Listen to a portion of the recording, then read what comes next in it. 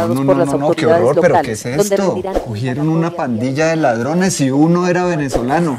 ¿Ves, hija, lo que te decía? Ellos son todos unos... Pero, pa, no debemos generalizar. Los venezolanos, así como nosotros, no son todos iguales. Cada uno tiene su historia, sus sueños.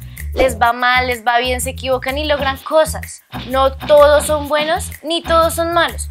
Son personas, cada uno con sus historias propias y diferentes. Y yo conozco a muchos que ven aquí a trabajar duro, como don Octavio, mi profesor de matemáticas.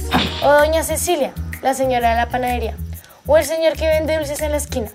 Todos ellos son gente honrada que vino a este país a trabajar por su familia. Tienes razón, don Octavio es una gran persona, es un gran profesor. Yo creo que me equivoqué, no está bien generalizar. Choques a cinco.